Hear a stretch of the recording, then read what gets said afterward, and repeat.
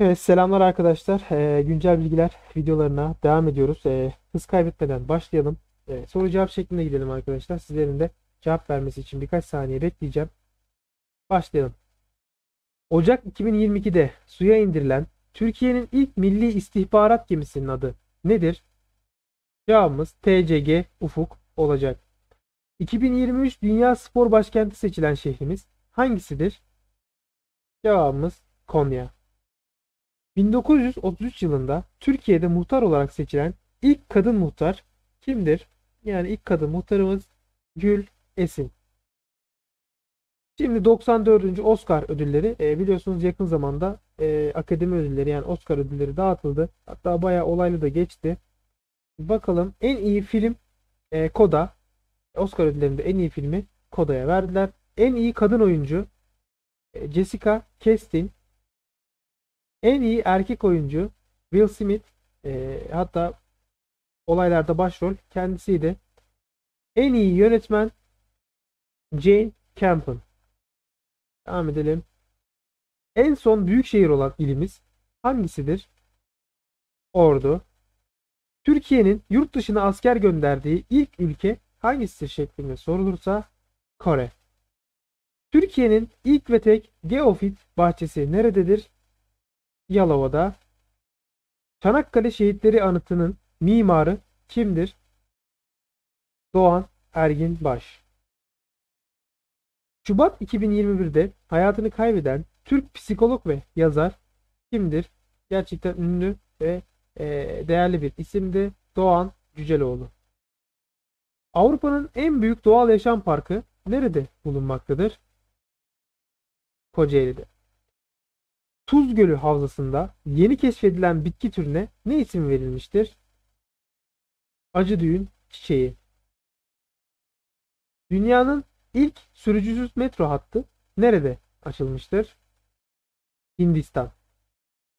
Osmanlı'da ok atışı ile uğraşanlara ne isim verilmekteydi? Kemankeş. Osmanlı Devleti'ne en uzun süre yönetim merkezliği yapmış olan yer neresidir? Topkapı Sarayı. Atatürk'ün milletin sarayı olarak nitelendirdiği yer neresidir? Dolmabahçe Sarayı.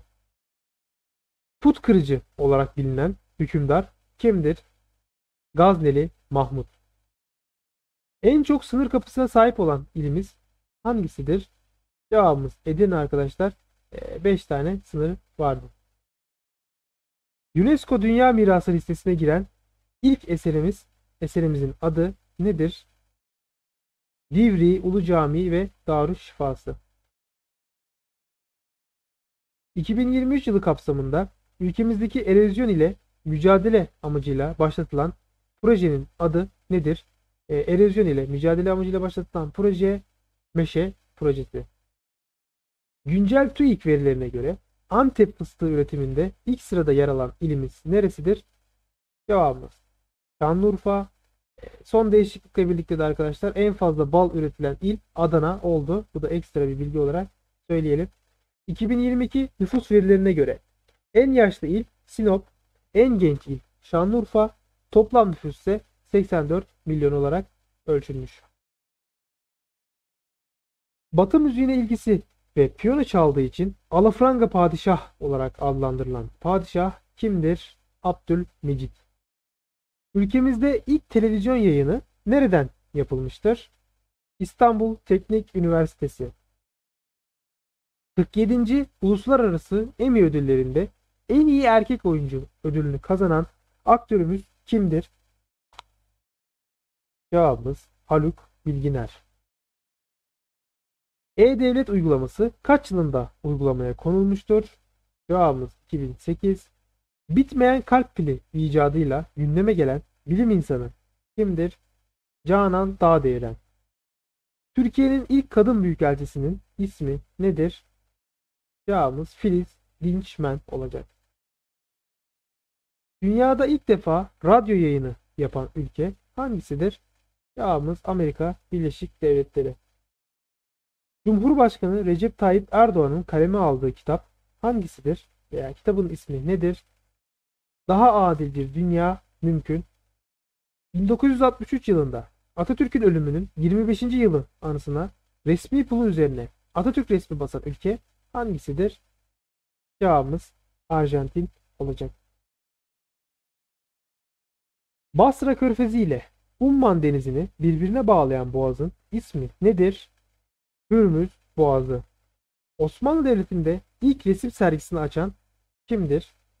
Cevabımız Şeker Ahmet Paşa olacak. Geçen yıl hayatını kaybeden ve Türk Nietzsche olarak bilinen yazar kimdir? Oruç Arıoba. Son olarak da e, sizlere bir soru soruyorum. Türk tarihinde toprak ana olarak bilinen şehir hangisidir? Neresidir? Sizler de cevabı yorumlar kısmına yazmayı unutmayın arkadaşlar. E, Ramazan ayındayız biliyorsunuz. E, oruç tutuyor çoğumuz. E, hepinizin emekleri umarım e, karşılık bulur. Hepinize iyi çalışmalar diliyorum. Kanala abone olarak e, hem bana destek olmuş olursunuz hem de gelen videolardan haberdar olursunuz. Zili açmayı da unutmayın. E, hepiniz hoşçakalın. iyi çalışmalar.